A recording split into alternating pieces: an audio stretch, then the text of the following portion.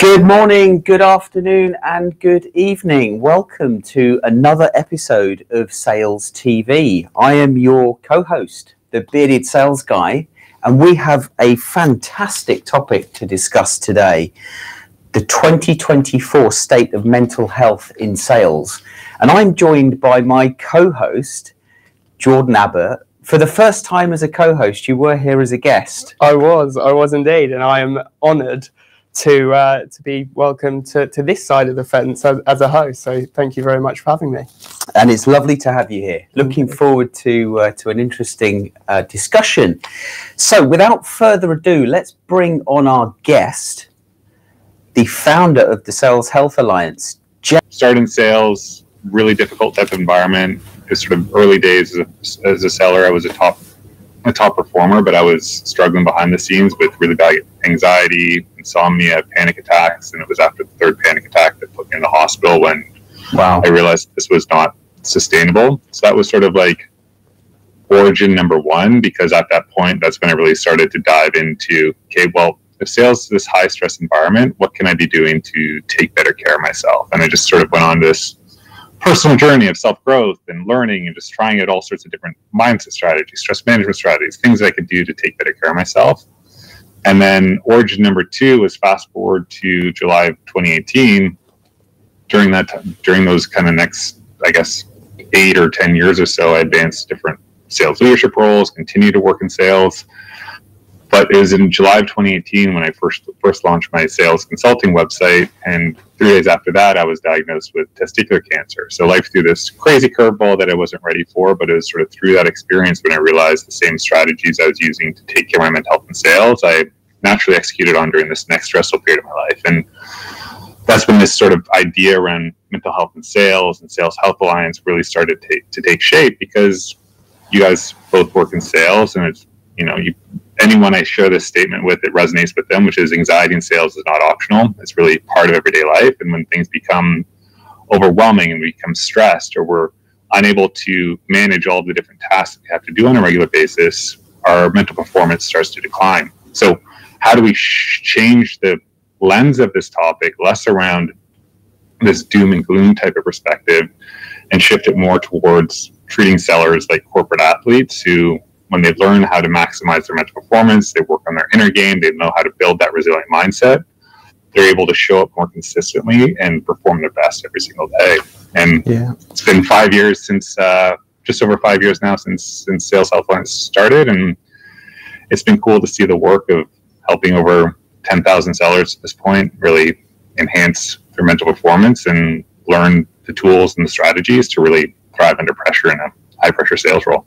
Yeah, yeah, it's a great mission. It's it's a, it's a it's a great story. I mean, it's it's great that you can talk about it now, but um, being hospitalized because of anxiety and three panic mm-hmm. attacks that that does not sound like fun to me. Um, mm-hmm. uh, and and then getting cancer. So you you've been through a lot, and now you're now you're eliminating. I kind of see you and feel you trying to eliminate poor mental health from sales which is something mm-hmm. that I hold quite close to to my heart. Um, mm-hmm. I know Jordan. I want to bring you in at this point because um, uh, you know when we started working together professionally, uh, what three years ago now? A uh, little bit longer. Little Probably bit. about yeah four four years ago. Yeah, pushing you. You didn't enjoy sales in the beginning. Can you t- can you tell us a little bit about that?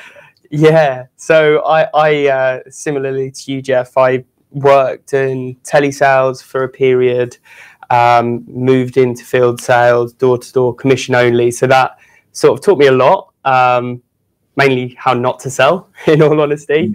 Um, but then when we actually started working together in a in a more complex B two B sales environment, I thought it would be a lot different. Um, I thought it would be a lot more professional. I thought it would.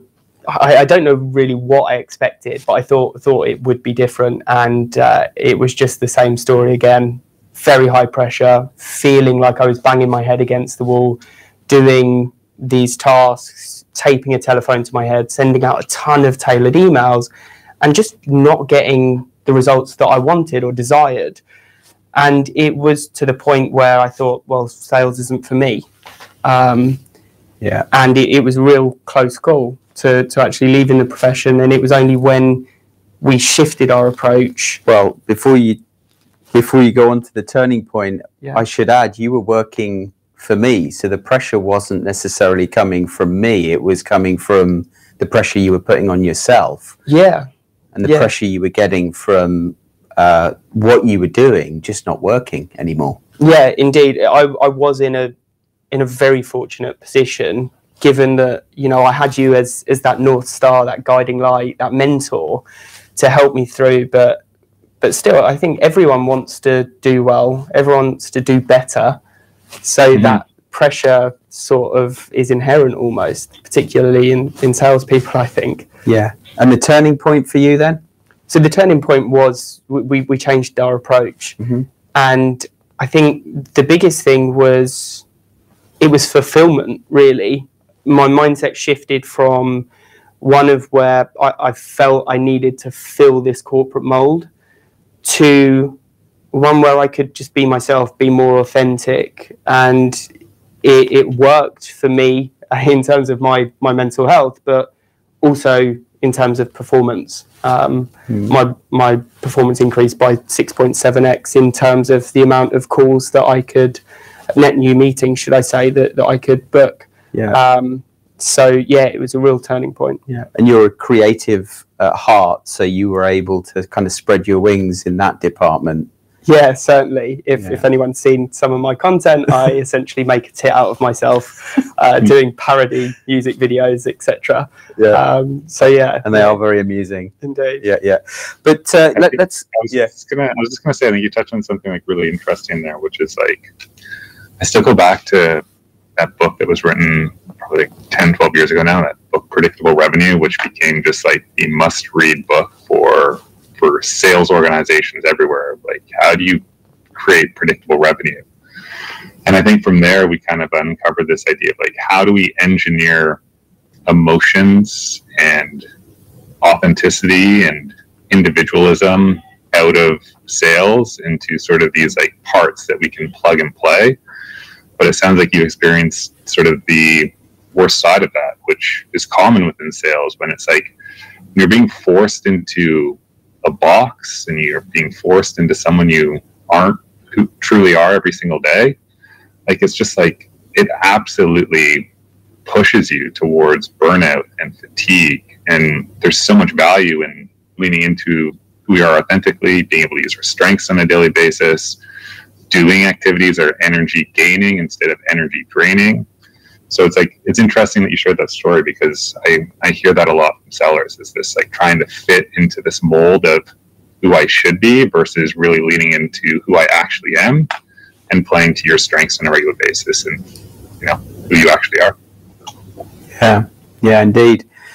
So let's come on to the uh, to the report because there's some good stuff in here, uh, and and I I do feel slightly honoured that you've launched the analysis today, the day where you're, you're appearing on on Sales TV. I don't know if that was by design, but uh, we are very grateful for that you're joining us today, Jeff. Um, where would you like to start? There's 27 pages in here. Yeah, I think maybe just like the first two pages is kind of like a good sort of baseline to start. Um, so if you can pull the the slide, the first slide up, I think that'll be kind of a really good starting point just to help people get context of what this report has captured. So this data was captured between um, I think it was October and November of last year, and we captured just over 500 responses. And this was sort of the breakdown that we we see. And when we think about the percentage that really stands out is 70% of sellers are struggling with their mental health. So those are sellers that who rated their mental health as fair or poor. And the reason why this is troubling, and if you want to kind of flip to the next slide, is I've been in the fortunate position to be able to be doing very similar reports like this every single year. Last year, I think we had about 700 responses. The year before that, we had about 800 responses. So, you know, thousands of sellers have gone through this as well as like the work that I've done externally. And you can just see how challenging and worrying this trend is. If you think about going from 43% to 58% to 63% to now yeah. 70% of sellers are struggling with their mental health, like that's almost three quarters of sellers that are struggling with their mental performance. And in an industry that cares so much about performance and high performance, we're just getting so many things wrong, especially when you look at sort of 20, 2020 and 2021 there at the peak of COVID. Like things have not improved given what yeah. was probably one of the most challenging times in, you know, human history or in at least our lives that we'll ever have to go through. Things are only getting worse. Yeah. So be curious to, to hear from you guys this day, like when you see this data, like how does what resonates with you here from from this stuff? Yeah, I, I think for me that what's standing out is the fact that this is this is an endemic. It's progressively getting worse year after year, and we can't blame COVID anymore. You know, this mm-hmm. seems to be here to stay, and you know, I, I I talk a lot about the fact that the traditional sales funnel is is broken. You know, we can mm-hmm. no longer, you know, try and force prospects through the funnel into the top of the funnel and expect our salespeople to close the same number of deals they did before, when all buyers are doing is is is running for the hills, hiding behind the, the zone of resistance because they don't want to be sold to. Yeah. Yet, mm-hmm. yet you know, yet business leaders are telling sales salespeople do more with less, make more mm-hmm. calls, send more emails. Oh, now we've got AI. Let's use AI to send more emails. And it's not actually solving the root cause of the problem in my mind. No, mm-hmm. not at all. Just, just on that point of really pushing salespeople to push their prospects down that rabbit hole the the number of conversations I had last year with people in a new business um, role that were completely unhappy, completely unfulfilled with the role, and were looking to move into an account management or a customer success role mm. um, because they were just sick of having to force prospects that potentially were unqualified, potentially weren't a good fit down that role just to to try and get close to the number. Mm. Um, and what I think will be interesting over the next year is given the switch of focus for a lot of businesses to expansion efforts, whether we're going to see that increase in stress levels um, yeah. shown shown throughout the, the findings. Yeah, I noticed this year uh, or this time, I should say, Jeff, you've you've brought customer success into the into the study, into the research, and to mm-hmm. Jordan's point, uh, you know, there's certainly a move, it seems, towards unearthing revenue from existing customers to find the growth that businesses need. Mm-hmm. Um, um, so, tell us what why why why have you included customer success this time? What's your thinking there? I think like I think where we get a lot of things wrong, and you can toss the next slide up, which kind of shows the breakdown of, of roles. But I think why customer success is important to include, and, and why we get a lot of sort of the mental health conversation wrong, just in general, is we typically default to HR, and this is sort of houses like HR is responsible for mental health within our organization, and biggest mistake that they make is they then approach the mental health conversation, treating it as their organization as a collective whole, which is leading to general solutions like they buy a meditation app or they invest into some EAP program, as opposed to realizing that each uh, or as opposed to realizing that sort of the best way to approach this is treating each department as their own individual kind of piece that is facing their own unique stressors within those roles. So the stressors that a frontline sales manager might make are going to be different than an AE and an SDR and a customer success and someone working in operations versus someone working in legal. Like you can't have general solutions. And the thing that really matters is putting context around why certain strategies work and connecting that to the various stressors that a seller or someone in customer success or leader faces so that they understand why this sort of strategy or why this sort of investment is important and how it's going to help them perform in their role. But I think to your point, one of the most troubling trends that I see is like if you see across all of the different roles that are listed in front of you, every single role except for sales leaders and executive leadership has increased by a certain percentage from last year. So sales leadership and executive leaders is the only one that decreased. Now, it's not by much, but when I see that, I get concerned because this could be the sign of a much bigger problem starting to arise in the sense that the ability for a sales leader to understand how challenging it is to be an AE or an SDR right now, their perspective on what's stressful is decreasing while an individual seller's perspective is increasing. Mm. And a part of a lot of that has to do, I think, with sales leaders today being unwilling to lean in and understand what's going on with millennials, what's going on with Gen Zs, what's actually happening. Because I was in a mental health conversation, uh, in a private mental health group, and something I realized uh, a person shared was she's a Gen Zer, she's new into the environment, and she said within her group of three or four friends, they've collectively been laid off ten times within within a two year period. Yeah, so it's like become the norm. yeah, that's become the norm. And if you think about what's happening, that the stressors, the lack of trust that new hires are coming in, like this gap is going to continue to widen. And if I put myself in a Gen Zer shoes where, or even as a millennial, I feel this right now is like unaffordable housing, uncertain market conditions, wars raging around the world, climate change. Like there are these external stressors. Society is in a period of intense change where the volatility, the uncertainty, the complexity, and the ambiguity it is increasing at an extreme rate.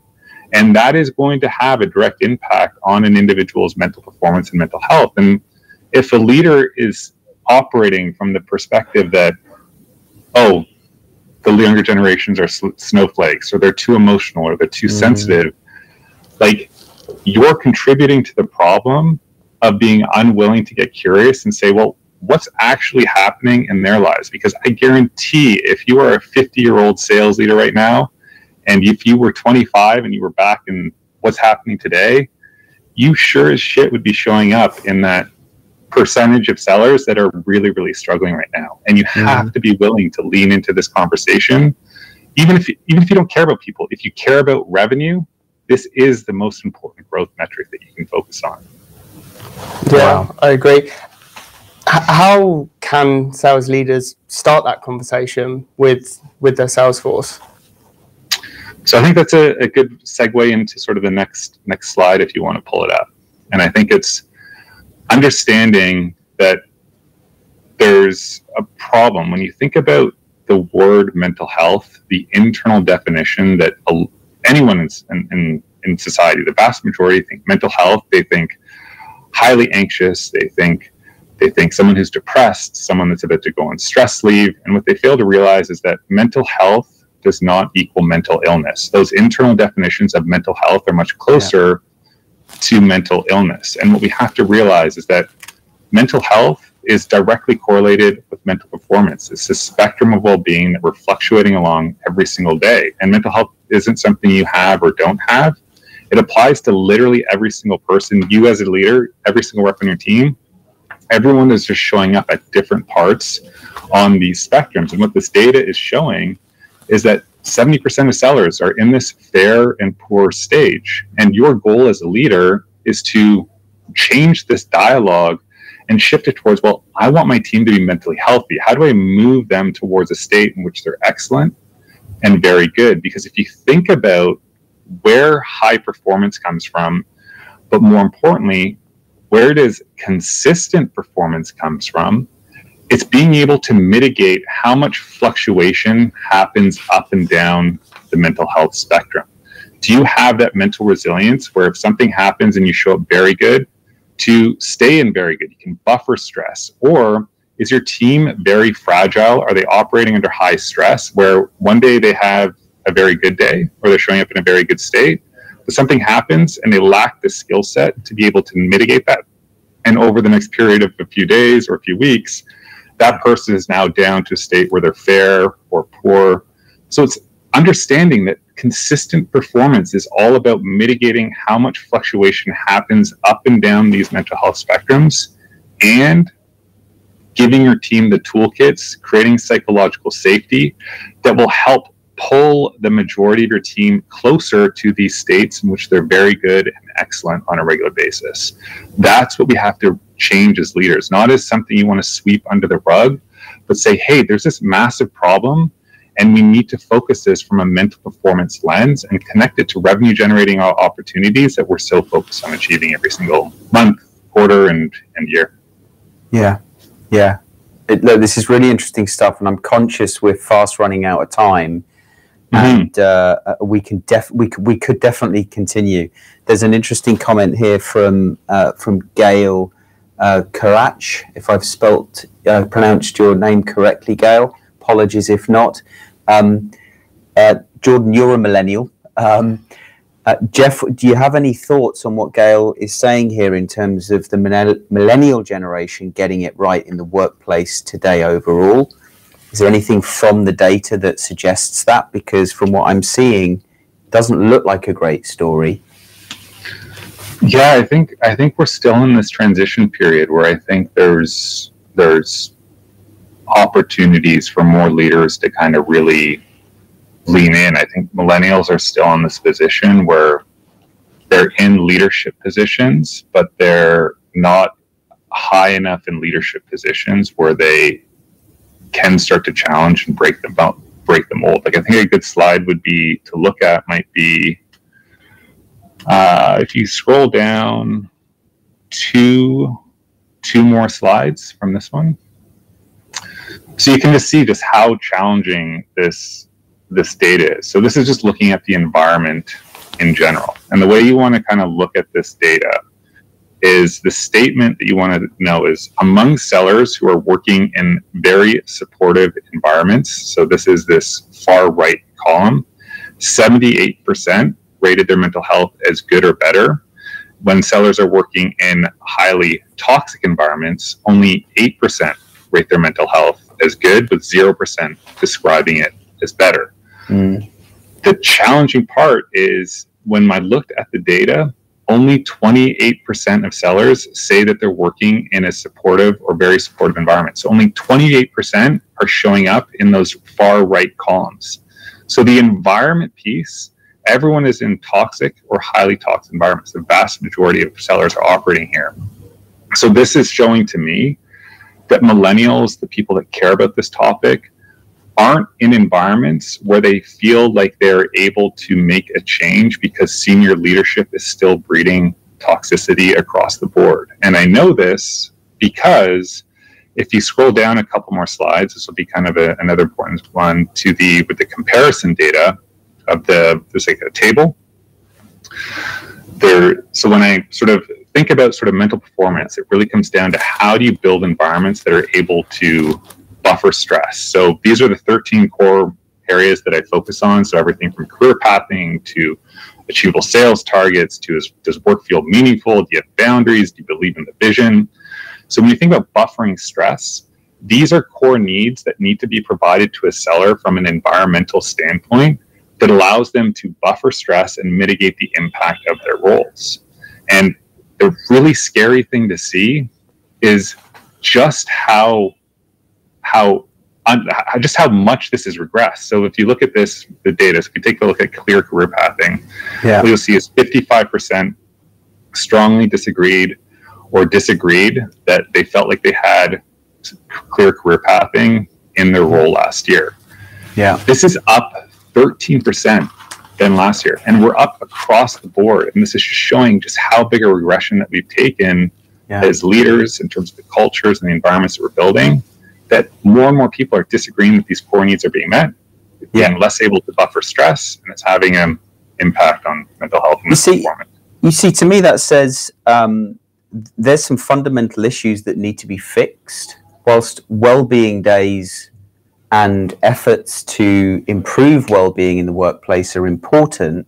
What's more important is making sure that sales teams have clarity and direction in their career path and they and they feel like their sales targets are achievable. Yeah, and again, these are just going back to Jordan's comment earlier. Like, what can leaders do? Like these 13 core needs that are outlined in the report. This is a great starting point yeah. because most of them are free. Like you said, are they setting achievable sales targets? Are they providing ongoing career path and clarity? Are they, you know, leading with an inspiring mission and a vision of the company?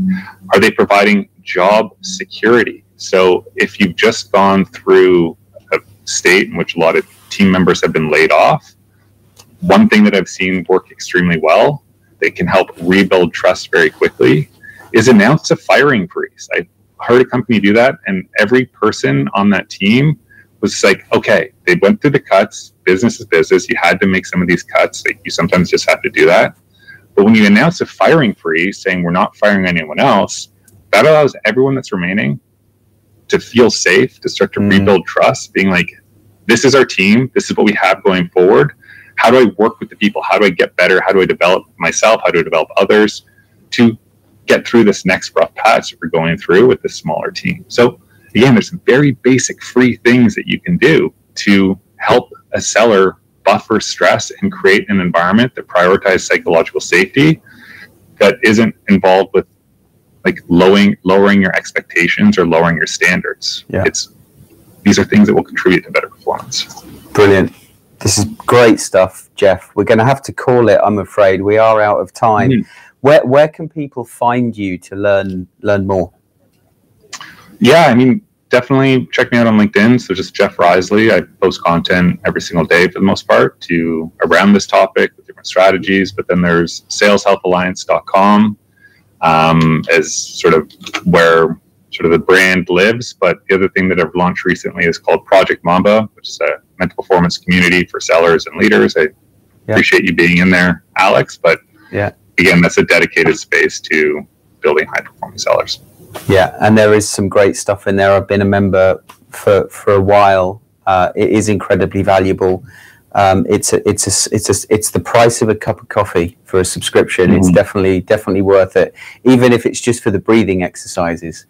Um, thank 100%. you, Jeff. um, now there are some un- unanswered questions in the chat, so can I ask you to maybe take a look on the LinkedIn posts uh, after the show? And there's there's Bob uh, asking a question. Matthew Nicole, um, sorry we didn't have time to get to your uh, questions, Bob and Matthew. Um, thank you, Jeff. Great session. Thank you, Jordan. Uh, glad to be here. Fantastic. Until next time on Sales TV, we'll see you next week. Have a great rest of week.